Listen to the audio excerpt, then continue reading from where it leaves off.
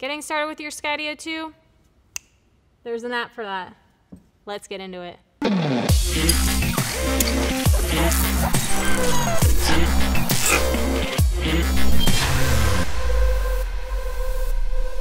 Hey everyone, I'm Nicole, and today I'm going to help you get started with your Skydio 2 app.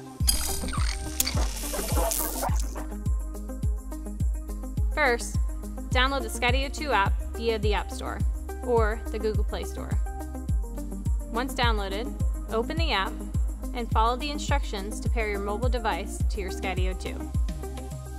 Once your device is paired, you are ready to fly Skydio 2. If this is your first flight, check out our first flight video.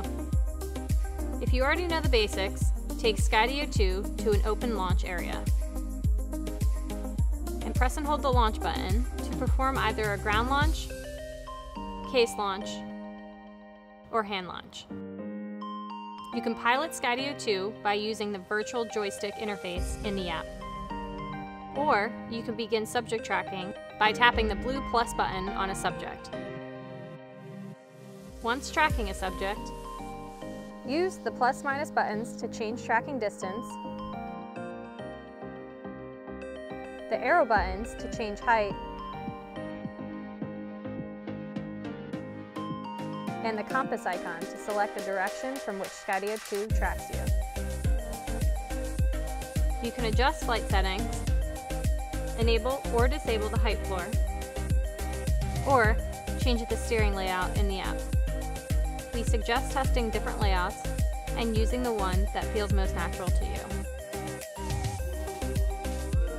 When you're ready to land, tap the red X at the top right of the screen to stop subject tracking Use manual controls to pilot Skydio 2 over a safe landing zone, and press and hold the land button at the top right of the screen.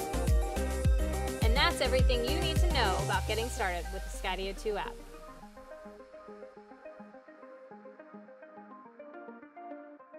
Today we're going to teach you about magic.